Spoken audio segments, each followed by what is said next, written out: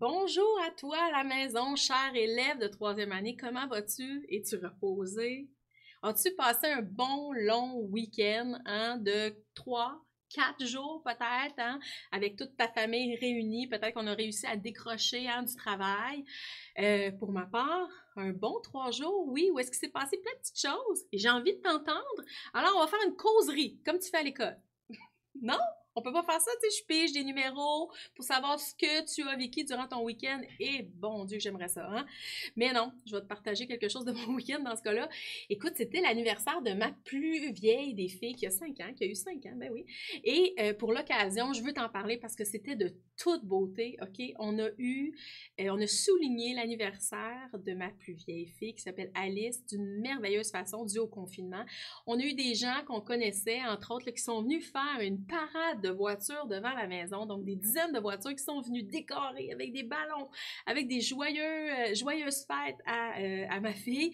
Alors, c'était une merveilleuse façon de souligner hein, son anniversaire et je suis certaine qu'elle va s'en rappeler malgré hein, ce qu'on vit en ce moment. Peut-être de ton côté, hein, tu as été témoin de ces belles choses-là qui ont lieu autour de toi tu peux m'en partager. Ça va me faire plaisir justement de, d'inspirer d'autres familles ou d'autres gens comme ça à faire des belles actions comme ça pour briser l'isolement. Alors, qui dit début de semaine, dit retour sur des partages aussi que vous avez faits. Sur quoi on s'était laissé vendredi, t'en souviens-tu? Pour ceux qui étaient à l'écoute, hein, on a fait une belle entrevue, une belle rencontre avec Jean-Luc Brassard qui nous a partagé justement son parcours de médaillé olympique en ski à bosse, entre autres. Hein.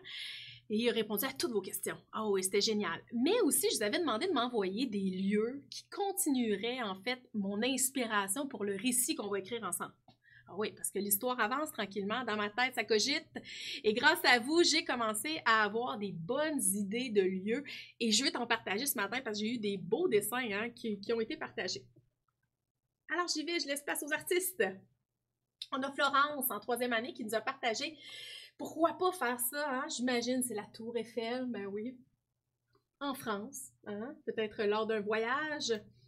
Ici, ça, j'ai trouvé ça, euh, j'ai trouvé ça vraiment intéressant. Louis-Étienne nous a partagé, euh, en fait, différents lieux, hein, sous forme d'images, un super de beau montage, salle de classe, forêt, espace, pourquoi pas, dans un stade où est-ce qu'il pourrait se passer une découverte. On aura le retour de la Tour Eiffel, hein, vous partagez, euh, et sinon une maison moderne, hein, et même ultra moderne. Ici, regardez ça, hein? Et wow, quel talent! Il fallait que je vous le présente parce que c'est hallucinant le talent de cette personne-là qui s'appelle Maë. Euh, bon, elle est en cinquième année, mais je voulais absolument vous le partager. Elle parle d'un lac empoisonné, un atelier de sorcière, une caverne à potions, hein, un magasin de potions. On sent quasiment dans l'univers d'Harry Potter pour faire la découverte. Hein. Ici, on a aussi très joli de Maëlie, hein, qui, elle, a fait euh, une forêt. Hein, ça pourrait se passer dans la forêt où est-ce qu'on fait la découverte de quelque chose euh, qui rendra célèbre notre fameux personnage principal. Alors, merci hein, pour ces merveilleux partages qui, encore une fois, sont très, très, très inspirants. Alors, euh, on est mardi, il nous a manqué une journée dans notre semaine, mais on commence quand même sur une thématique, une nouvelle thématique, et je me suis habillée en, je me suis habillée en conséquence. Chemise carottée. Je t'ai fait un dessin peut-être un peu symbolique. Tu me fais-tu le lien? C'est un érable, oui. et je te montre à l'instant une autre image hein, qui va peut-être pouvoir te donner indice. Oui, une érablière. Alors, cette semaine, le thème sera donné autour du temps des sucres Hein, de la cabane à sucre. Ah oui, moi j'adore aller à la cabane à sucre, donc ça me tentait de te livrer des informations à ce sujet-là, puis de partager cette passion-là pour le sirop d'érable. Alors, tu sais d'où vient la cabane à sucre? Euh, il faut remonter longtemps en arrière. Hein? À l'époque, même avant là, des colons français qui sont arrivés en Amérique, il y avait les Amérindiens. Bon, je les ai étudiés en troisième année. Et les Amérindiens étant nomades pour la plupart, hein, et même il y en avait quelques sédentaires qui ont découvert que les arbres, dans les arbres, dans certains arbres qui étaient les érables, il y avait une sève qui coulait et qui, elle, était curative, qu'on disait à ce moment-là, c'est-à-dire qu'elle servait à guérir une maladie très répandue à cette époque, malheureusement, qui était le scorbut. Et elle servait justement à guérir ces gens-là. Tranquillement, par un concours de circonstances, on a trouvé que cette eau-là, une fois qu'elle était bouillie, elle pouvait créer un sirop incroyablement bon. Hein. Alors, au niveau alimentaire, on l'a inséré euh, dans les coutumes à cette époque-là. Ce que tu dois savoir aussi sur le sirop d'érable, c'est que le Québec, hein, où est-ce qu'on habite, est le producteur le plus important au monde. Oh oui! Hein? Alors, euh, il occupe deux tiers de toute la production du monde. C'est beaucoup, cela, là, hein? avec les États-Unis puis l'Ontario. On l'exporte aussi, ce sirop-là. Hein? Il est très, très précieux. Pour te donner un exemple, moi, il y a quelques années, je suis allée enseigner en Afrique. Et en Afrique, euh, j'avais pris soin d'apporter quelques petits flacons euh, de sirop d'érable, justement pour faire goûter aux familles chez qui j'allais habiter, tout ça. Et de voir leur visage quand ils ont découvert le sirop d'érable, c'était de toute beauté, hein? parce que eux, dans différents pays, hein, ils n'ont pas accès à ce, à ce produit-là de l'érable. Euh, autre chose que je peux dire, ben, tu vois l'image, là, c'est une cabane à sucre plus traditionnelle, OK, comme on pouvait trouver à l'époque. Il y en a encore, OK, qui fonctionnent de cette façon-là, euh, qui est plus à la main, OK, avec le travail manuel. Mais tu peux retrouver facilement de nombreuses cabanes à sucre euh, ici au Québec, hein, qui sont peut-être plus commerciales, qui fonctionnent pour être plus efficaces avec des tubulure. Alors ça, comment ça fonctionne? C'est qu'il y a des tubes, hein, et euh, avec la gravité, ça descend justement vers euh, un récipient euh, qui se trouve dans l'érablière, où est-ce qu'on accumule toute cette eau, cette sève d'érable pour en faire des produits d'érable. Alors qu'on pense au sirop d'érable, qu'on pense à la tire d'érable, au beurre d'érable, et il y a plein de déclinaisons comme ça possibles. Un arbre qui produit de la sève, 40 ans avant que ça se produise. Et l'autre condition, ben, il faut qu'on soit en période entre le fin mars et la fin avril. Hein, on, est en plein dans cette période-là. Et il faut qu'il fasse très froid l'hiver, euh, très froid la nuit, pardon, et qu'il y ait un redout durant l'été. Hein. Donc, c'est pour ça que c'est la saison idéale, le, printemps. Ça va? Beaucoup de choses hein, autour de la cabane à sucre. Je ne sais pas si toi aussi, de ton côté, tu apprécies ça, mais malgré le confinement, tu peux te, procurer des produits de l'érable et vivre ça à la maison, puis te régaler de ce festin. Alors, thématique du jour m'a fait inspirer un son du jour, mais je t'avoue, cette semaine, c'est un peu tiré par les cheveux. Hein? J'essaie de te montrer une image qui allait te faire deviner ce son? Alors, tu vois à l'écran Tintin, hein, pour ceux qui le connaissent, et Tintin est avec son chien. Il se trouve à un endroit que tu probablement reconnais, qui est l'érablière, la cabane à sucre. Et il y a certaines petites choses de l'image qui ont inspiré mon son, et je te les nomme le saut, euh, la promenade, la transformation du sirop, euh, de, l'eau d'érable. Euh, ben, j'ai pas mal dit, transformation, promenade, sirop, saut. C'est donc le son O. Hein, je te l'avais dit que c'était tiré par les cheveux.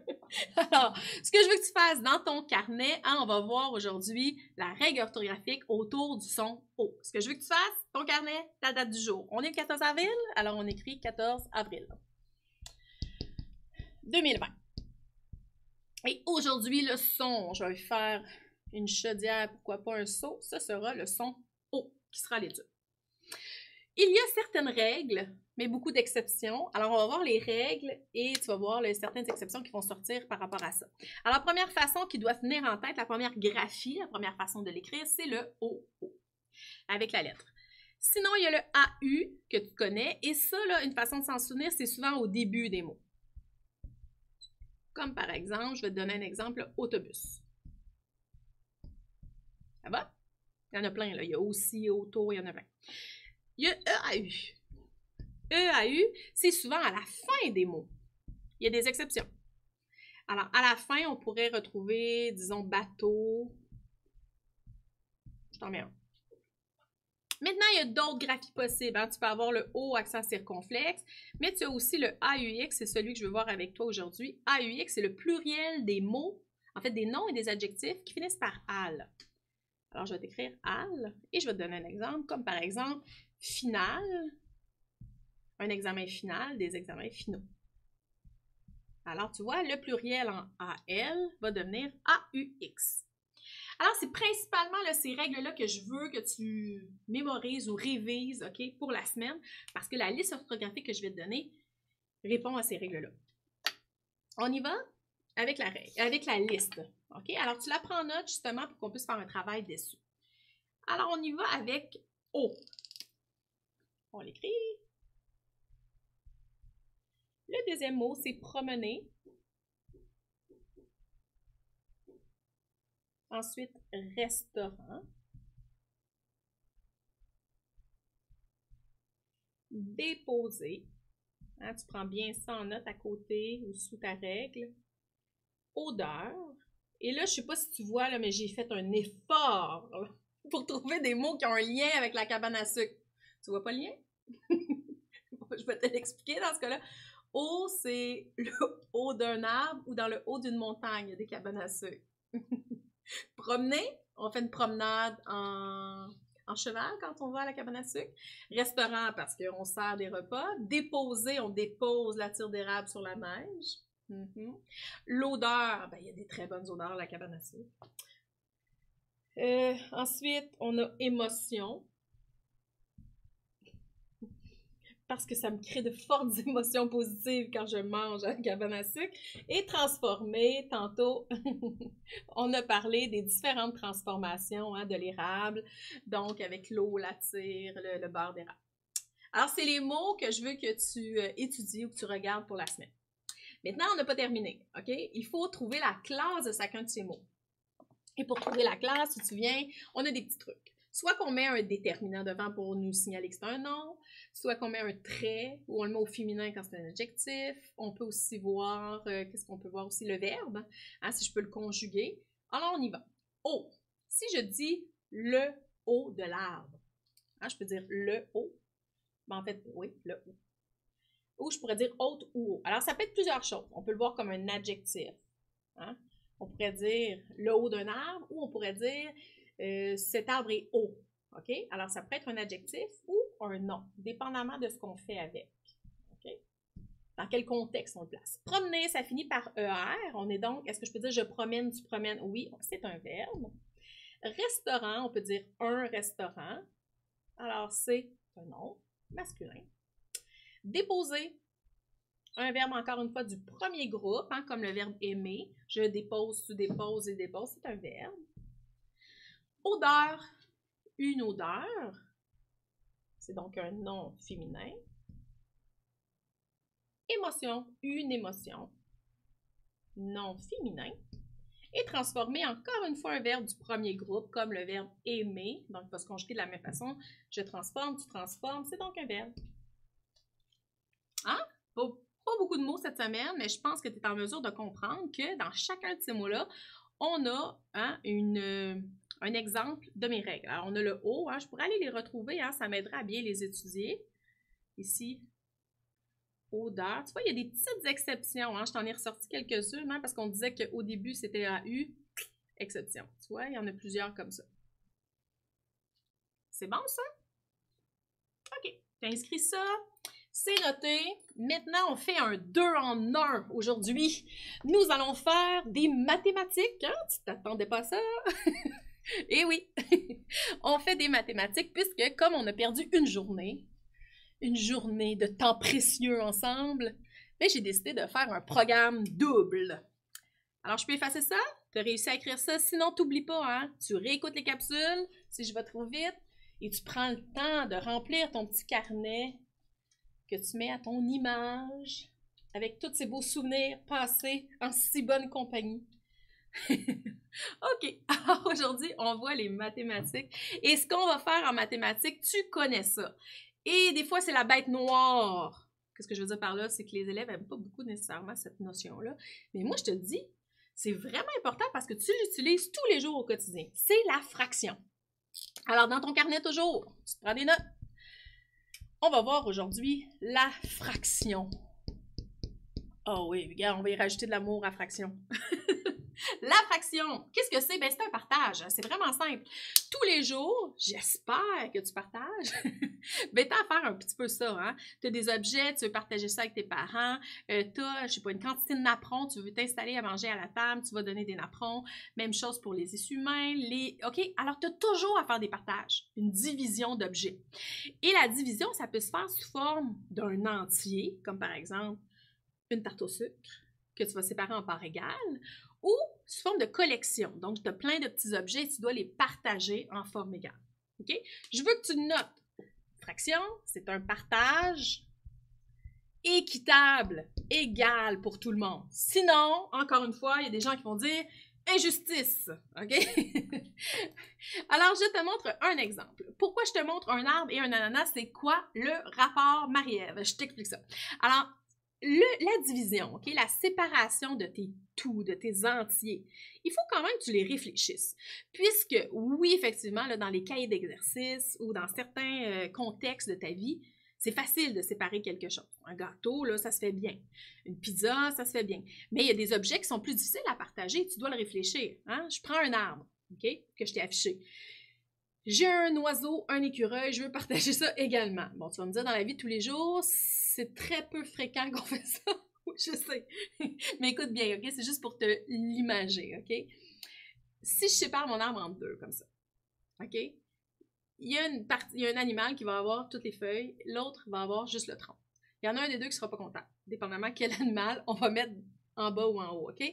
Donc, il faut réfléchir que la meilleure séparation, ce serait dans le sens, oui, vertical, hein, pour que chacun aille de tout. Même chose pour l'ananas. L'ananas, si je le coupe horizontal, il y a une personne qui va avoir beaucoup de feuilles, très peu d'ananas. Alors, tu réfléchis à la façon que tu sépares les choses aussi. C'est important. Maintenant, on y va avec la notion principale. J'ai une part au sucre. On est en cabane à sucre, OK? Je la sépare en trois parties. Ça va jusque-là? Tu as déjà vu ça. J'ai trois parties égales, OK? Des parts égales. Je te donne une autre façon quand je te parlais de collection. Ça pourrait être des cocos. Des cocos qui servent à faire une omelette, OK? Qu'on retrouve à la cabane à sucre. J'ai trois cocos. Eh bien, j'ai une partie sur trois. Alors, qu'est-ce que je veux t'illustrer par ça?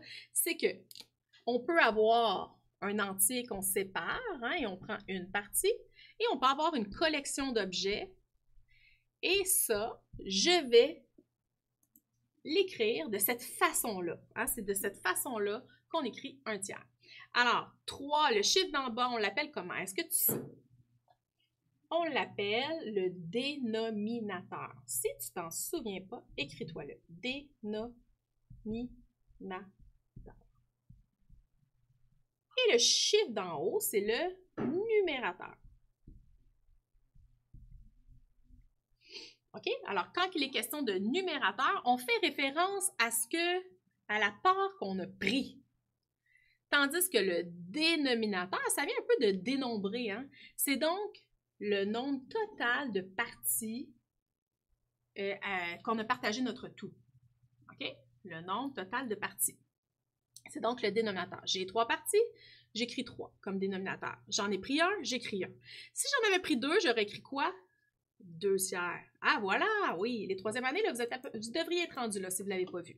Habituellement, la notion de fraction est vue à la soit avant de partir pour Noël ou après, OK? probablement que vous êtes laissé là-dessus avant de partir là, avec ton professeur. Vous deviez le revoir cette année. Alors, c'est important que tu fasses cette révision-là. Elle est très importante parce que tu la vois jusqu'en sixième année, les fractions, OK? Euh, je te montre donc une autre possibilité et ça, c'est important que tu comprennes ça. Regarde ça. J'ai encore le tiers dont je te parle, mais cette fois-ci, regarde ça. Disons que je sépare ça comme ça. OK, j'ai six morceaux ici, tu vois. Et en haut, ce qu'on t'a montré, c'est par exemple neuf cocos, OK? Mais je pourrais aussi avoir six comme cocos comme ça.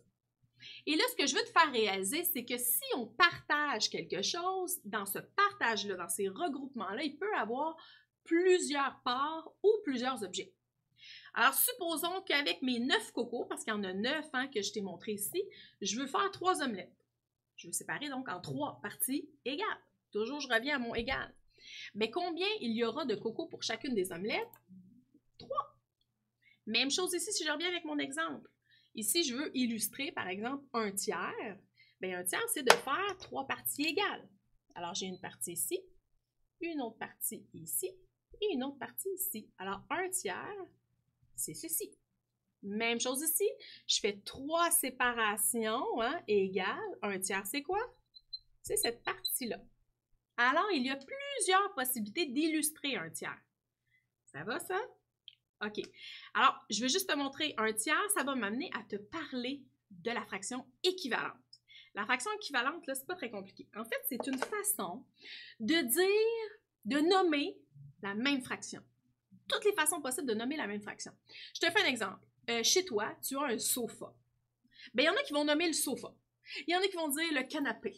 Il y en a qui vont dire euh, la causeuse, peut-être. OK? C'est toutes les façons de nommer la fraction, toutes les façons de nommer l'objet, le, sofa, puis on parle de la même chose. Ben, c'est la même chose ici. Regarde ça. J'avais donc un tiers parce que je t'ai montré qu'il peut y avoir plusieurs éléments dans, dans ton partage. Ben ici, en fait, combien j'en ai de morceaux, de divisions, de parts? J'en ai six. Et combien j'en ai pris? J'en ai pris deux. Même chose ici, as-tu vu? Il est illustré par une collection d'objets. J'ai séparé ça en un Ça aurait pu être un tiers. Mais ici, c'est deux sur les six. Donc, deux sixièmes est une autre façon de nommer un tiers. Je vais te faire un autre exemple, OK? Et ça, j'aimerais ça que tu le notes.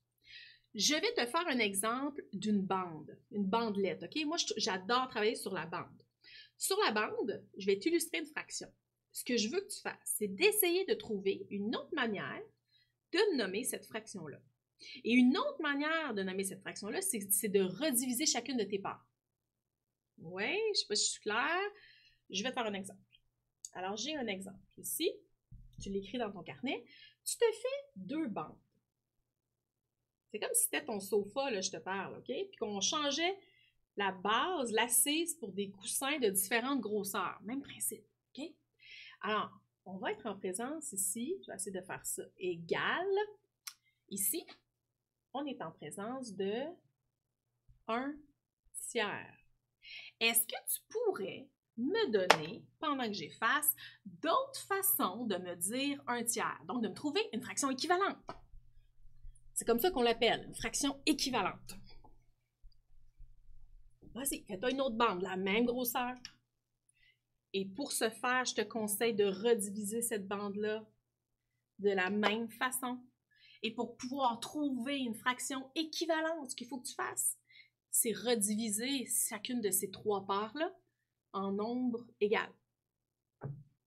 On y va ensemble? Alors ici, j'ai réillustré le 1 tiers pour pouvoir faire la modification des coussins du sofa. Tu comprends? Alors, regarde bien. Chacune des parties, je vais les rediviser en deux.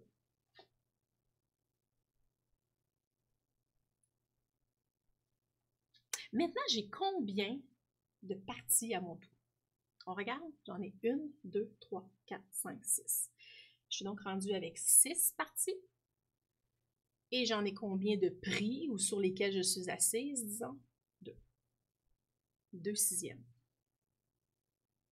Ça va? Si je veux avoir une autre façon d'écrire un tiers, qu'est-ce que je fais? Même stratégie, regarde ça. Je refais ma bande.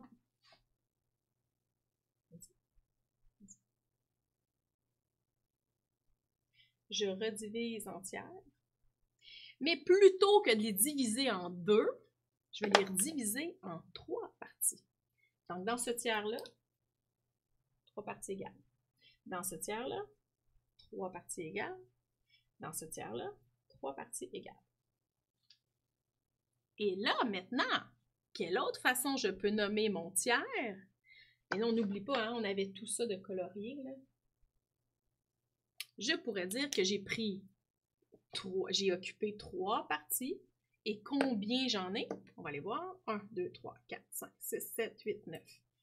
3 parties sur 9. Alors, voici les fractions équivalentes à un tiers. Tout simplement, une redivision de chacune des parties. Ça va, ça? Un peu plus clair? OK. Maintenant, euh, je voulais faire avec toi d'être capable de situer rapidement, parce qu'il nous reste très peu de temps, une fraction, OK, de savoir est-ce que c'est plus grand qu'une demi? Est-ce que c'est plus petit que la moitié? Est-ce que c'est proche de zéro? J'en ai pas pris beaucoup. Ou est-ce que c'est proche d'un entier? J'ai presque tout pris. OK? Ça, c'est important de, pour toi de savoir ça. OK? Pas nécessairement de le situer sur une droite. Ça, pas nécessairement. Ça, c'est plus au troisième cycle. Mais de comprendre que dans le milieu ici, là, une demi. Et je veux que tu les connaisses par cœur. Ça, c'est le défi que je te donne cette semaine. Apprends toutes les demi qui existent. OK? C'est pas compliqué, là. Par exemple, c'est quoi la demi de, de 4? Fait que là, je veux que tu les apprennes. C'est quoi? Peut-être que tu les connais déjà, OK? Parce que tu connais tes tables. Mais c'est quoi la demi de 4? C'est 2. C'est quoi la demi de 8? C'est 4. C'est quoi la demi de, de 10? C'est 5. Pourquoi? Parce que ça va te permettre de bien classer, de bien réfléchir la fraction. Ainsi que tu connais tes demi, si tu es en présence de, par exemple, 5 dixièmes dans un cahier ou dans un exercice qu'on te donne, mais si tu sais que 5, c'est la moitié de 10, tu sauras donc que c'est une demi. La moitié de quelque chose. Alors, c'est important de connaître tes demi, entre autres pour que ça soit plus rapide. Et là, ce que je veux te faire réaliser aussi, c'est que si j'ai une petite part, hein, je prends juste une part, on est très près du zéro. Hein, je prends une part. Si je prends par exemple, ici je vais te donner un exemple, OK? je prends une part sur huit morceaux, j'en ai pas pris beaucoup. Tandis que si j'ai pris sept morceaux, sept parts sur huit, oh ben là j'en ai pris beaucoup, hein? J'ai presque pris la pizza ou la tarte au complet. Alors c'est important de pouvoir situer ça. Ce serait quoi la demi? Bien, si je connais la moitié de mon 8, je sais très bien que c'est 4 sur 8, parce que 4, c'est la moitié de 8. J'ai pris donc la moitié. De là, l'importance de connaître ces demi. Ça, c'est vraiment un objectif que je te donne cette semaine. Révise tes demi, là, puis il faut que ça aille vite pour que tu les connaisses. C'est bon, ça? OK, il me reste 2-3 minutes. Euh, assez de temps, dans le fond, pour t'expliquer qu'on a encore quelque chose de spécial pour toi demain. Eh oui. Alors, demain, à midi 45, un peu comme vendredi, nous aurons la chance de recevoir une invitée spéciale à nouveau. Oui, oui, qui va répondre à vos questions. Alors, ce que je vais faire, c'est que je vais te la présenter ici pour que tu, euh, aies un visuel un peu sur elle. Hein. Alors, elle s'appelle Juliette Gosselin. Juliette Gosselin, peut-être que ton, son visage t'est familier puisque tu l'as vu à la télé. C'est donc une actrice mais aussi réalisatrice. Elle a réalisé plusieurs choses, dont une série web. Et euh, elle est donc aussi scénariste, puisqu'elle m'enseigne toutes ces, idées-là. Elle a commencé à son jeune âge, 11 ans environ. Elle est âgée de 28 ans, si je ne me trompe pas aujourd'hui, 29 ans même. Euh, et elle a commencé très, très jeune, hein, 11 ans. Et euh, ce que tu dois savoir, c'est qu'elle a plusieurs intérêts, hein, Juliette. Elle, aime beaucoup la danse, le hip-hop et même qu'elle a gagné des compétitions, première position dans un, championnat, mondial de danse hip-hop. Hmm, rien de moins. Et elle est une grande amatrice, en fait une amoureuse des chevaux. Alors, en sachant un petit peu ça, tu peux aller lire à son sujet, tu peux regarder un peu c'est quoi sa carrière, comment elle a commencé. Sinon, en sachant tout ça, j'aimerais que tu m'envoies tes questions, hein, que tu m'envoies les questions qui viennent à l'esprit quand tu penses à Juliette Gosselin. Et moi, j'aurai l'honneur demain, à midi 45, de lui poser tes questions, hein, de piger parmi les élèves aussi de troisième année, les questions qui, euh, ben, qui, qui permettront de connaître un peu plus la vie de Juliette. Alors, comment tu fais ça? N'oublie pas sur les réseaux sociaux, principalement sur Facebook. Hein, tu peux aller sur la page de succès scolaire. Je te remontre à l'écran les façons de partager. Alors, tu t'en vas sur la page de succès scolaire, tu indiques euh, ta question hein, sous la publication, dans le fond, de la capsule d'aujourd'hui et tu inscris la question pour Juliette qui la concerne. Alors, ça peut rapport avec son, parcours, hein, ses, ses, passions pour la danse, les chevaux, toutes les questions qui viennent en tête. En commercial succès scolaire, le hashtag la classe de Marie-Ève. T'oublies pas d'inscrire ça. Et puis, euh, ben, demain, je pigerai parmi vos questions pour, euh, pour les poser à Juliette. Alors, d'ici là, ben, abonne-toi sur la chaîne YouTube hein, qu'on est en train d'écouter en ce moment pour qu'on soit une grosse gang ensemble hein, à se soutenir pendant cette, euh, cet isolement. Et sinon, ben, je te dis de continuer peut-être cet après-midi une lecture de 30 minutes. On essaie ça la fameuse trousse pédagogique qui a été envoyée par ton enseignant, on se pige une, petite activité à travers ça. Et d'ici là, hein, tu as un horaire occupé. on se dit à demain sans faute, hein, encore dans le grand plaisir de te retrouver. Bye bye!